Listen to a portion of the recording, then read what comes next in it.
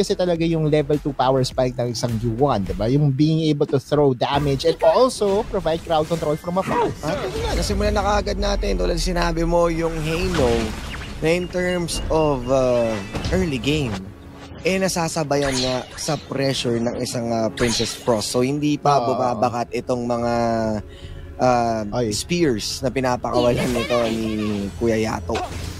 Ay, ito problema to on the top side, Kuya Osay. Maraming beses na nangyayari sa akin to, yung binabakuran, yung uh, camps ko. Ops! Oh, Rigid oh, Prison.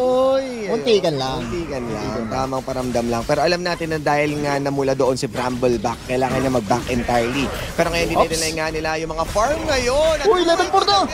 Agad-agad, mabilis ang entrada pero still sila pa rin ang magwawagi ngayon. Si Kuya Chami na naman ang nagpapainit pero si Kuya Ray nasa gate din naman din sa Kuya Yato pero kakayanin nga ba nila habulin dahil si Kuya Chaz umiinit na ngayon ang kanyang Yampo. Uh, pero patago lang muna sila. Okay na muna yung isa. Yeah. Hindi natin kailangan mag-overcommit. Pero Oy, solo call! Sa ko. Muntik na mag-solo bowl bowl dito si Golden Kite. Nawawala yung buhay ni Golden Kite. Hanapin mo nga! Invulnerable! Invulnerable! Nasa yung... Nasa yung... Hindi ko makita yung buhay ni Kuya Golden Kite. Pero tumingin ako dun sa health bar dun sa may bandang kanan. Oo. Healthy pala. Kaya pala. No, lamang na lamang siya. Uh, at uh, tuloy pa rin ang pag-involve dito. Pagkuha talaga ng mga jungle comes dito ni Bramble Pack. No. Kalungkutan. Dahil din kasi yun sa rolling raid nito ni Golden Kite kaya Otto eh. Ah, yung tumatumbling na bumabaril. Yun yung poke oh. na dala nun. Kaya may hirapan ngayon si Kuya Danny. Pero okay, tama naman si Kirito. Oo. Oo nga, no? Oo, oh, yung, ano eh, yung si Elucidator at saka yung eh. nag-outburst, outburst ng speed. Pero kuya, kasi may, mahirap to. Like, uh, pagka ang isang Byron umahid, alam mo na yan eh, di ba? Oo. May, may mga 1v3, 1v4 moments yan. Kasi yung S1 niya, may dalang sustain din kasi. And again, yung easiest way to uh, target someone, lock down someone, is to launch them. And yung S2 niya, libre kasi yung launch nun eh. By the way guys, talagang fully recommendable talaga yung Byron.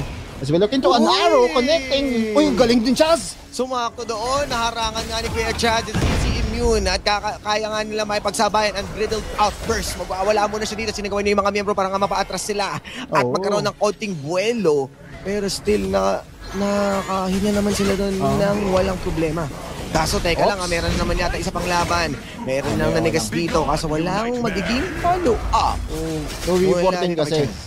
Kaya, kaya ako, kumbaga, wala muna magfa-follow. Pero min, may, pinakita rin ni Chaz. Mechanics din, di ba? Kung magkakaharangan ko with the CC immunity, yung mga arrows na yan, ay hindi talaga magiging epektibo. Oo, grabe si Kuya Chaz. No, no, no, namba-box out.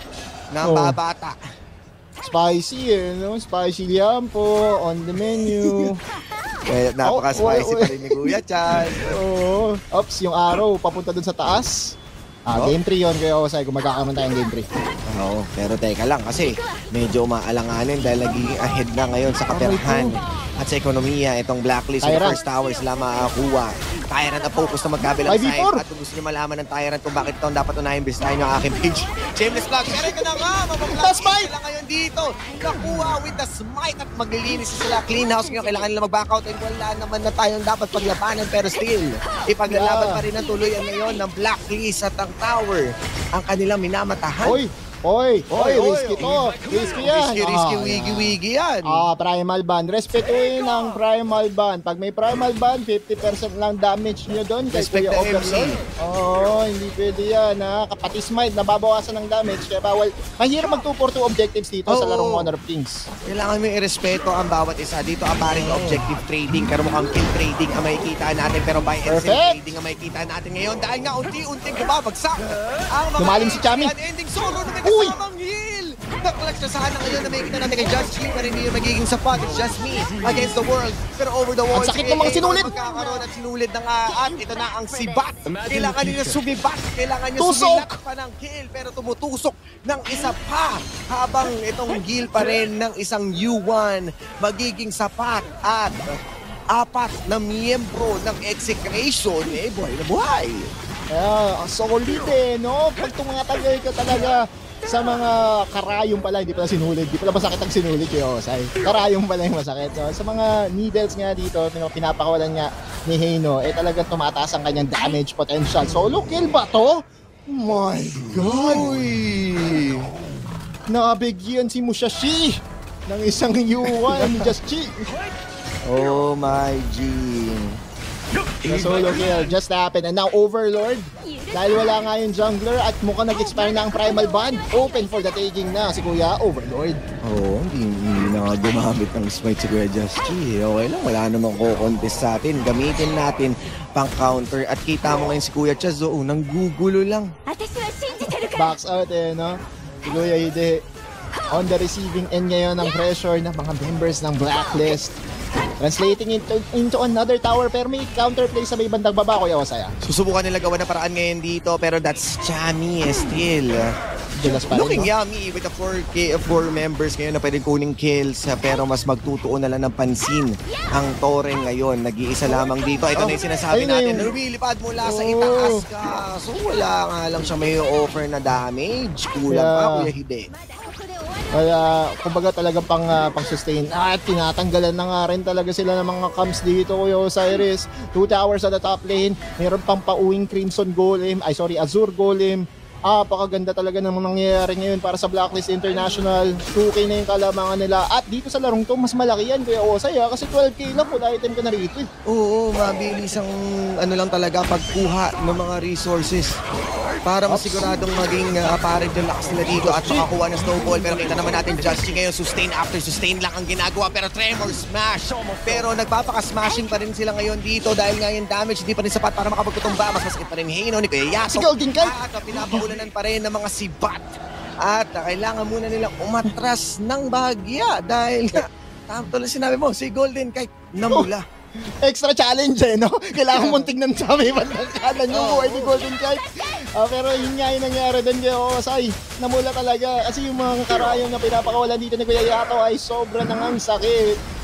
And uh, tuma- bumabagal kahit pa paano yung laro ha. 8 Oo. minutes. At sinasabi nga natin para mag-goal line ng Hoyi, 3 items, 4 items. So, kailangan pabagalin talaga ragasa dito ng Blacklist International. Hindi lang si Hoyi, Kuya Otto, pati rin si Heino. Heino, eh, nakikita paresin. na nga natin yung sakit ngayon pa lang with 8 minutes mula dyan kay Golden Kite. So, paano mag-rolling raid paharap?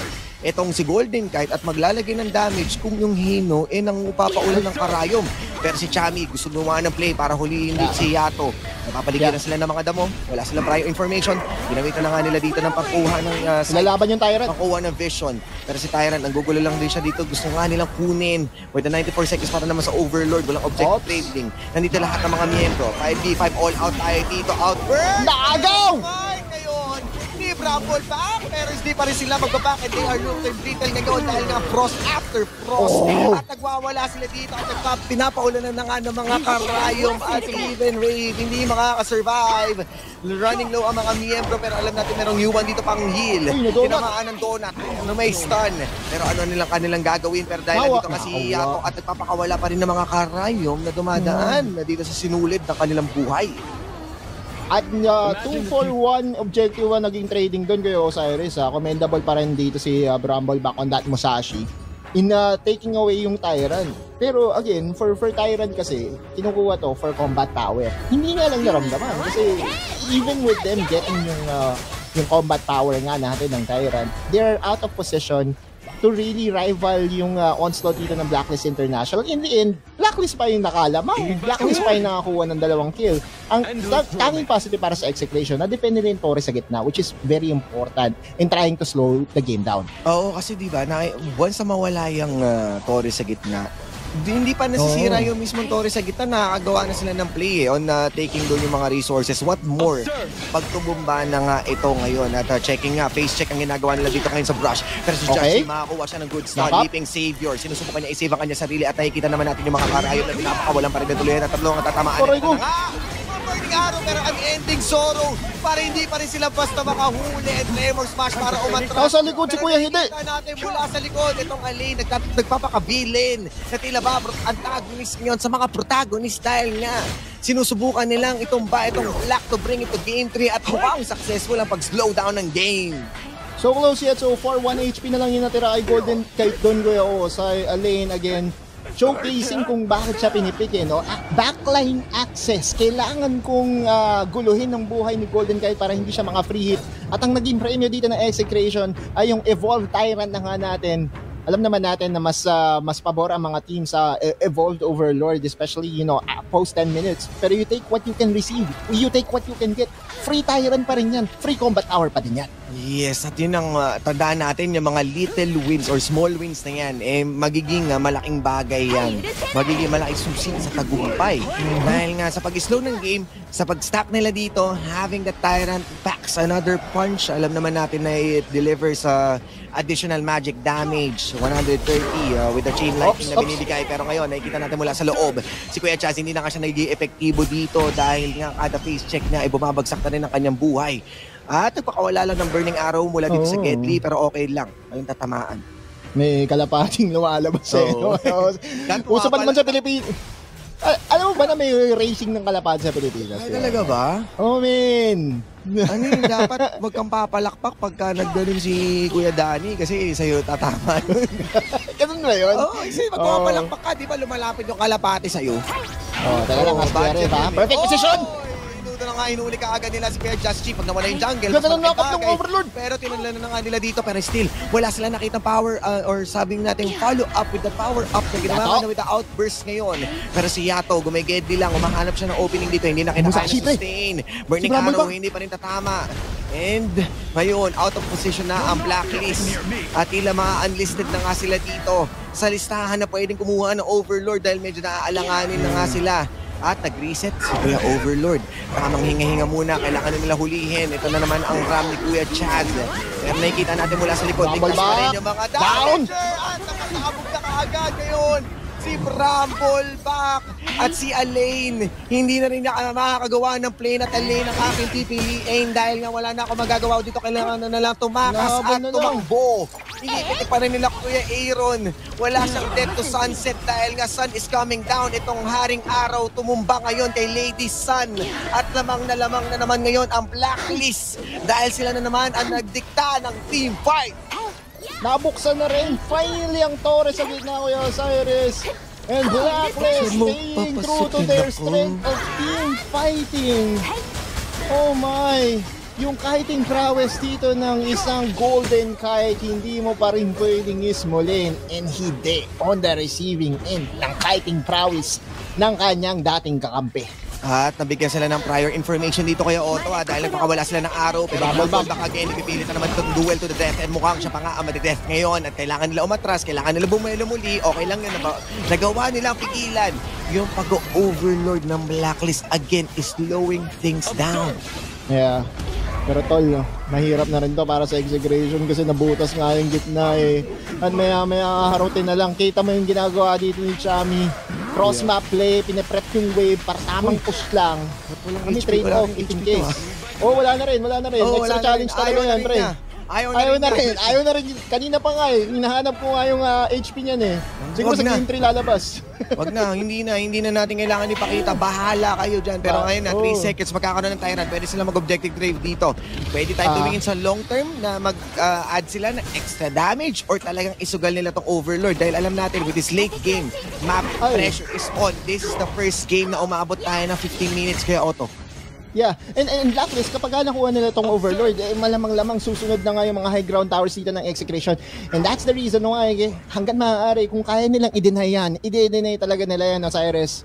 Now we move on towards the more intense moment. Aaron and Demon kahit sobrang focus, sobrang open nila na-outburst nga sila doon pero walang follow-up. Mas tinignan nga nila itong mga tropa pero the savior once again. Down. As Chubby! Napatumba ka agad yung Musashi. Wala na first potential. Inuunti-unti na as Halo. Tila ba na Halo? At itong Angel nabigyan na ng Halo. Dahil nga love goodbye ngayon. Dahil sila na naman ang nagwagi with a 513. Three man down ng execration. Kaya ba nilang i-defend ang kanilang high ground tower sa gitna? Remember, bukas na yun nasa taas ha. So pwedeng dumiretso sa Crystal ang Blacklist International. Bubuksan na nga ang Crystal. Babasagin na ng tuluyan. And Kuya Dani, hindi sapat ngayon dahil si Chami ang magugulo. Hindi na kailangan pang kapansinin itong si Kuya Hyde. At hindi, hindi nga sila mabibigyan ng Game 3 as another 2-0.